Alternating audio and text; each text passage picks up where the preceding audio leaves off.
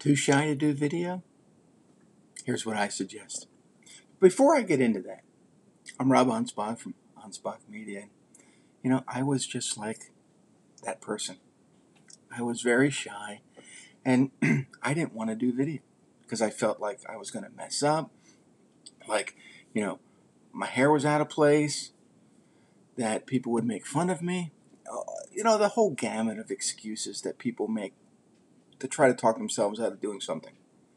And about 10 years ago, I picked up a camera and started just making these videos.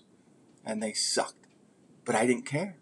Because the whole point of these videos is to educate my audience. And my audience is different than your audience. But the reason why you have an audience is because they want to hear you. They've come to see you. They want to learn about what you're teaching.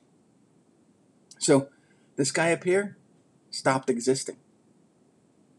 And that's the joy of video. You can make mistakes. You can be real. You don't have to shave. You can have messed up hair. People are coming to see you. So, my biggest tip to you to overcome the shyness that you feel that you think you have, yeah, something like that, is be yourself. So, you know, do these videos. Now, another big thing that I did is I embraced live video because that made me think on my feet a little bit better. I didn't have to rely on editing. You know, I, I want these videos to come out to be, you know, accessible to everybody. So, you know, people can say, hey, you know, I like that Rob guy or I don't like the Rob guy, but whatever the reason, it has to be me. It has to be done on my terms. I think people make a fuss over the big production that video makes it to be. So they feel like this guy. Excuse me while I choke on my. and that's the beauty of live video. I can take a drink of iced tea I can choke, I can cough. It doesn't matter. People want to hear you. They want to see that what you're doing is real. You know, I could potentially choke to death on live video, and I think people would go, "Wow, that was great performance." but that's that's the beauty. You're going to make mistakes.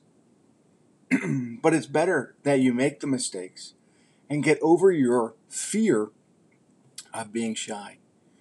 People get to see you on your terms. So embrace it. You know, pick up that camera, start making videos. You know, I guarantee the first 100 videos are going to be terrible. But you're going to build up confidence. You're going to want to do more. And people are going to follow and embrace what you say.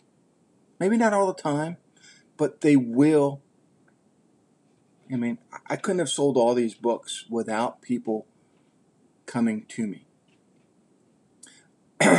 Doing live video helps me not be shy, if you believe that or not, you know. But get out there and, and just explore. Get those videos out there. Get the, I mean, everybody's got these phones. Make videos. And when you go out there, and if someone sees your video and say, hey, Rob, I want you to speak at my next event. You're going to be so much more prepared for it because you're used to interacting with people.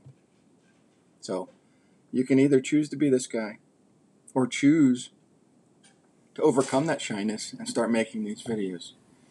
Questions, comments, put them below.